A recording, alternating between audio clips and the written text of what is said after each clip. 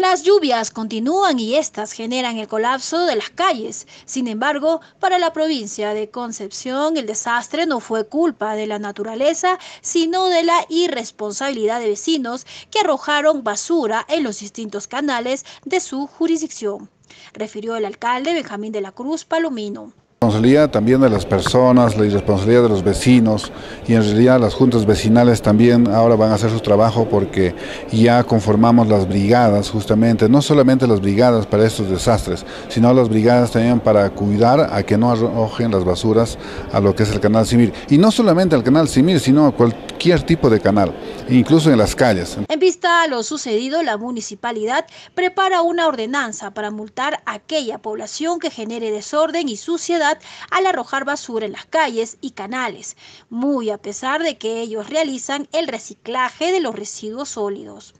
Ya estamos en la creación de una ordenanza justamente para ver el tema de las multas y sanciones que se le tiene que dar a las personas que no estén cumpliendo estos actos. ¿Qué es lo que pasa?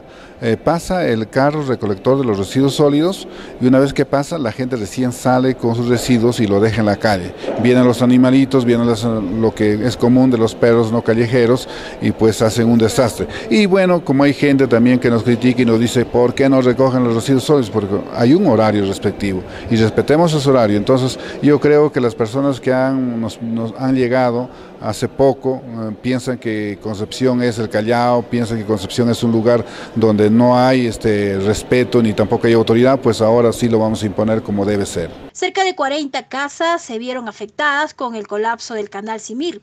Por ello, se ha declarado en alerta roja la provincia y se está trabajando con seis motobombas y cinco maquinarias. Finalizó de la Cruz Palomino. ¿Seis motobombas han sido suficientes para poder atender a 40 afectados? Mira, el problema es que nos falta capacitación en el manejo de las motobombas.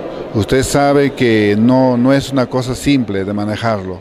Usted sabe que tiene este, ducto de ingreso y ducto de salida y a veces hay personas que no estaban capacitadas y hasta ahí pues nos ganaba el tiempo. Pero de todas maneras se ha resuelto el problema y creo que con ello la gente también está agradecida porque se actuó en el preciso momento que debimos hacerlo se controla, no, la situación está todavía latente porque las lluvias todavía persisten.